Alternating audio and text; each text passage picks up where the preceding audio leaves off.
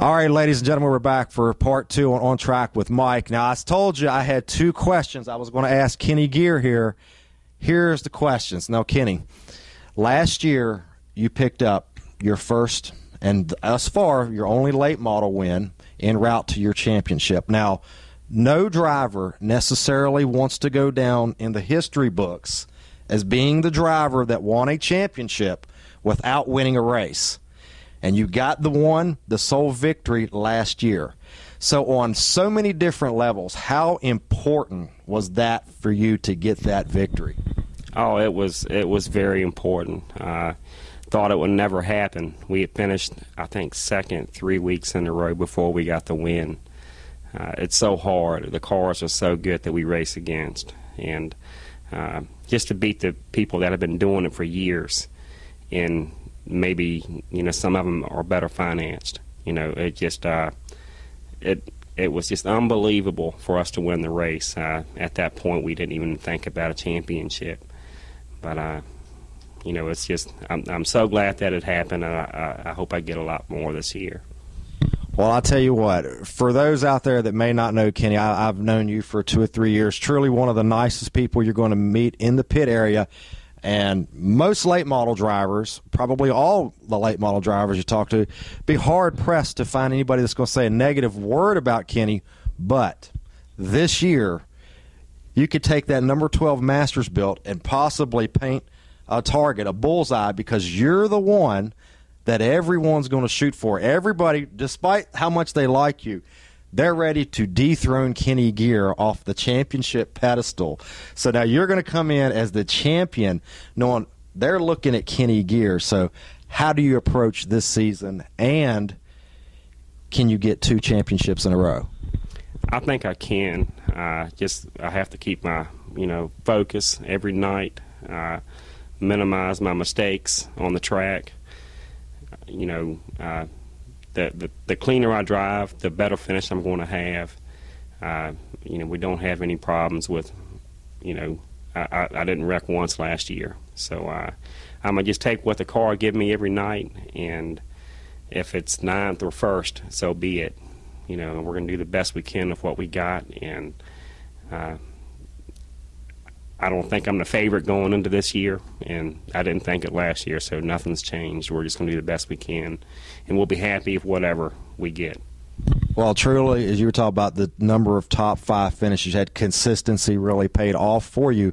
Now, this year, uh, the Steel Block Bandits returning to Eastside. A couple of double hitters with Natural Bridge Eastside Speedway. Of course, some of the the best competition within the Mid Atlantic is going to come in and race there. Also, the three state Flyers Super Late Models making its first visit to Eastside Speedway. And of course, I know a lot of the steel block late model guys try to qualify for those events when the three state Flyers come in. So, talk about possibly competing with the three state flyer series, the steel block Bandit series, and trying to stack up against some of that type of competition. I'm very excited about the Bandit race. Uh, I think we can. I think we've got a top five car at the Bandit race if everything goes well.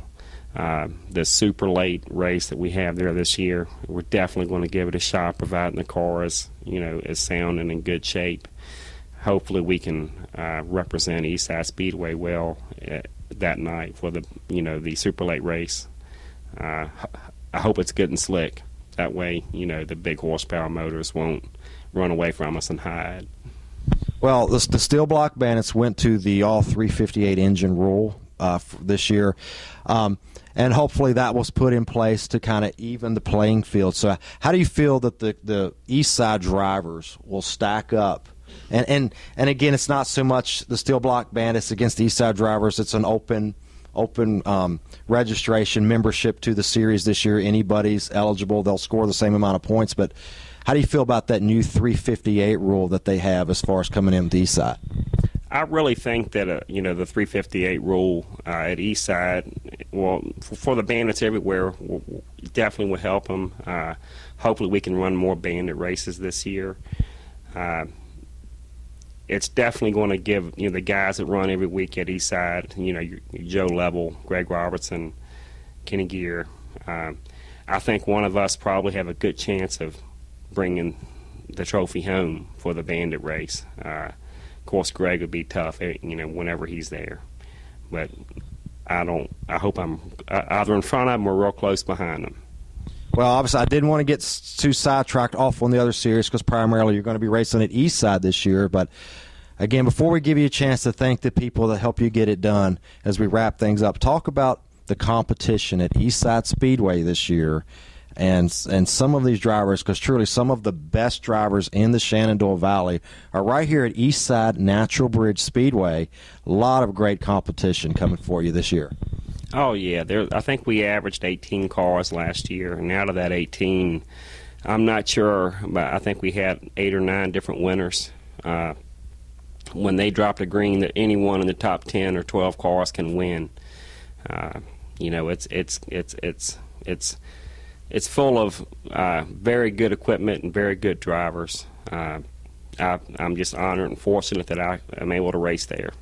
And I tell you what, ladies and gentlemen, Kenny's exactly right. If you go to Eastside Speedway, they have one of the best car counts for late models um, in in the Mid Atlantic. And you're right. I mean, you can see eight to ten different guys. They've either won a race already or are capable of winning a race. Um, but I just want to give you a chance. You know, you've got the championship now. You're trying to make it two in a row, but you're a great driver. But obviously, like any driver, they can't do it alone. And just want to give you a chance to thank all the people that help you do it, sponsors, and to just go ahead right out here for the World Wide Web. Well, most of all, my family. You know, they put up with a lot, helped me a lot on the car. Uh, that's the most important thing. Uh, Ferguson John Maddox with Ferguson. He's he's uh, he's been with me for two and a half years. Uh, I couldn't do it without him. Uh, Marvin Hicks, uh, he builds my motors. Uh, I think I've got the best engine builder in the business. Uh, JD Race Car Parts, Tommy Hoy. Bruce Kane with All About Doors and All About Wraps. And I, I think that's Kenny Geer Plumbing if you need plumbing work, give us a call. Sounds good. All right, I'll tell you what. Last question here, because we got you here kind of on the spot here a little bit. But Kenny Geer, the family man, the late model champion, what is the one thing that you'd like to tell the fans about Kenny Geer that those that come to the grandstands and sit maybe might not know about you, just about you in general? What, what's what what is Kenny Geer about? Wow, uh, quiet, shy, as you can tell. Uh, just uh, tr- try to keep people as fairly as possible. Uh, I just love being around my family. Love being at the racetrack. Uh, I wouldn't trade my life with anybody.